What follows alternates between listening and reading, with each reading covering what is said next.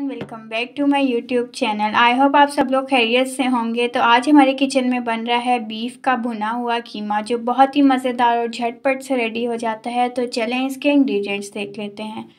सबसे पहले हमने यहाँ पे एक पाव बीफ का कीमा ले लिया है। इसके साथ हमने पाँच मीडियम साइज़ की अनियंस ली हैं, जिसको बारीक कट कर लिया है। इसके साथ ही हमें चाहिए टू टेबल स्पून हरा धनिया।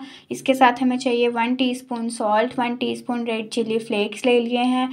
और यहाँ पे हमने दो मीडियम साइज़ के टोमेटोज़ लिए हैं। इसको बारीक कट कर लिया है। टू टेबल स्पून यहाँ पर अदरक लिया है। इसको इस तरह से कट कर लिया है। वन टेबल स्पून कुटा हुआ धनिया लिया है।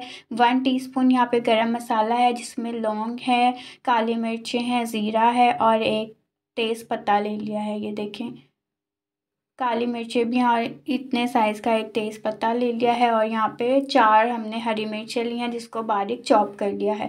तो चलें बीफ का कीमा बनाना स्टार्ट करते हैं। सबसे पहले मैंने एक पैन ले लिया है, इसमें four tablespoon oil add किया है। इसके गर्म होने के बाद इसमें हम की, प्याज ऐड कर देंगे और हमने इसको बिल्कुल भी डार्क कलर नहीं करना, बस लाइट सी सॉफ्ट हमने कर लेनी है। बिल्कुल ज़्यादा फ्राई नहीं करना, उससे हमारा जो है कीमा अच्छा नहीं बनेगा।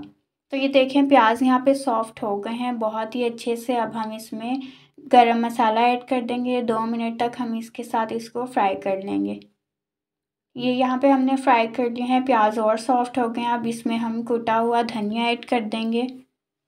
ये हम इसमें धनिया ऐड कर देंगे। दो मिनट तक हम इसके साथ भी इसको अच्छे से फ्राई कर लेंगे। बिल्कुल भी प्याज का कलर तेज़ नहीं करना। तो देखें लाइट सा कलर तेज़ हो गया। अब इसमें जूलियन अदरक का जो हमने कट किया था उसको ऐड कर देंगे। दो मिनट तक इसके साथ भी हम इसको अच्छे से फ्राई कर लेंगे।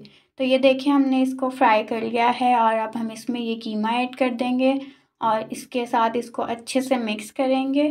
ये देखें, इस तरह से हम इसको मिक्स कर लेंगे और ये देखें, मज़ेदार कीमा रेडी हो रहा है। ये अच्छे से इसमें मिक्स हो गया। अब इसमें टोमेटोस ऐड करेंगे।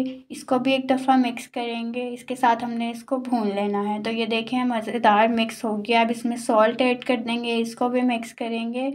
अच्छे से भून लेंगे। और ये देखें, इसके बाद हम इसमें रेड चिली फ्लेक्स ऐड कर देंगे। इसको भी दो तीन मिनट के लिए अच्छे से भून लेंगे। बहुत ही मज़ेदार कीमा रेडी होगा।